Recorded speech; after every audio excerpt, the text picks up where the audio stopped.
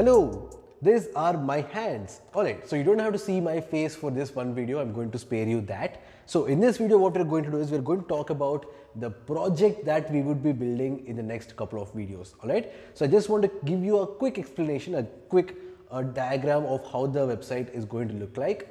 So that what I want to do is after this video, I want you to go out and try it on your own, right? In the next videos, obviously we're going to discuss how to build that project, but try it on your own if you figure it out, incredible. If you don't, I'm always there to help you. But either way, if, even if you figure it out or not, I would definitely recommend to watch the next couple of videos because we are going to discuss a lot more in those videos. I'm going to add a lot to the information that we've been talking up until now. For example, I'm also going to talk to you about why do we need doc type HTML? The first thing that we see, right, when we, one second, doc type HTML.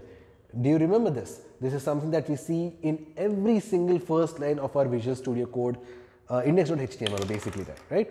We see this particular line in every first line of our index.html. All right, why do we need this? And I'm going to talk a lot more about some more uh, additional elements that we're, that we're seeing in the recent videos in the index.html. All right, so I would definitely recommend to watch the next couple of videos, even if you figured it out.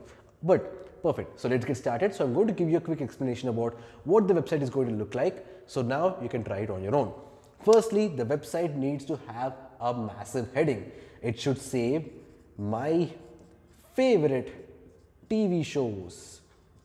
So I just want to build a website to kind of like showcase my favorite TV shows. You can uh, say your favorite anime, you can say your favorite movies, you can say your favorite places, food, anything that you want. All right? So the website title is going to look something like this. And right down uh, below the title i want to have a small subtitle or sub or a paragraph. I just want to kind of like you know say this website is the property of Vamshi Krishna something like that all right so just a small line just to indicate or to add some more information to the title below this i want to have a list all right a list of all the topics or all the items that we have inside the website. For example, if we are building something around the TV shows, I just want to have the names of all the TV shows. All right. But here's the catch. In this list, if I click on this particular element, for example, let's just say this TV show is The Office. Right. If I click on this particular thing, if I click on this text, I want to be navigated to an entirely new page which is going to contain only the information about the office. Simple enough?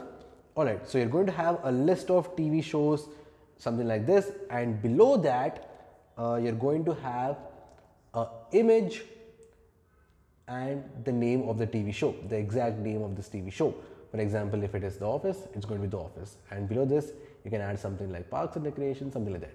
So all the three or four or how many ever TV shows that you want to add, first I need a list of all of them. It's kind of like a navigation bar in multiple websites. Whenever I click on one of these, I want to be navigated to that particular website. And below, I just want to be, I just want you to show me those particular TV shows or items using images and text. But one more small catch. It doesn't matter if I click the image, it doesn't matter if I click this title, I should still be navigated to this particular page alright. So, this page can be navigated by three different places, one by clicking the title, one by clicking the image and one by clicking this one, alright. So, if you can, if you don't know something or if you are uh, unable to figure out some things, you can always go back and watch our previous lectures, previous videos and they should be, they should be enough to help you. But if you don't figure it out, we already have a solution coming up. So, in the next video, we're going to start building it. I'm going to explain to you what uh, HTML is and a lot more other elements inside the index.html. Alright, so build this, try it out. If you don't get it, I'm here. If you get it, incredible, good job. Perfect, awesome. I'll see you in the next video.